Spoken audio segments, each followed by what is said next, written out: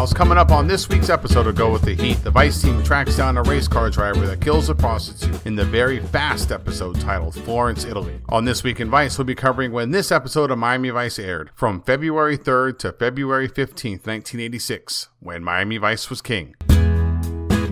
In news, on February 7th, a snap election was held between Corazon Aquino and President Ferdinand Marcos for president of the Philippines. The election was marred by fraud, with Marcos being named the winner on February 15th. By February 22nd, many viewed Marcos's win dubious and withdrew their support, leading for Aquino to become the first woman president. In sports, on February 8th, the NBA Slam Dunk Contest included two Atlanta Hawks teammates facing off for the title. The 6'8 Dominique Wilkins, the winner of the 1985 contest, was rocked by the five foot seven inch champion Spud Webb. Some might say Spud Webb received extra points for degree of difficulty, but it's obvious he's the greatest dunker of all time.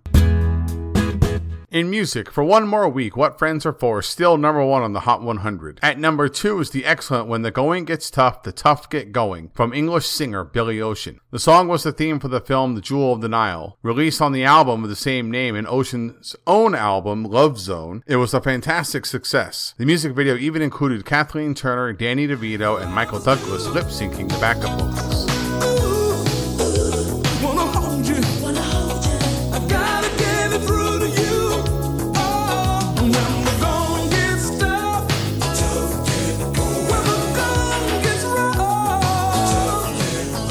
In movies, supplanting the color purple at the top of the box office is the comedy Down and Out in Beverly Hills. The film is about a dysfunctional rich couple who saved the life of a homeless man. Starring Nick Nolte, Bette Midler, and Richard Dreyfuss, I don't have much to say about this movie. The Color Purple is a far superior film and deserved to hold the top spot for at least one more week. Down and Out will be number one for four weeks, but I'll give you something to look forward to. By the time we get to the end of Down and Out's run, Pretty in Pink will move into the top spot.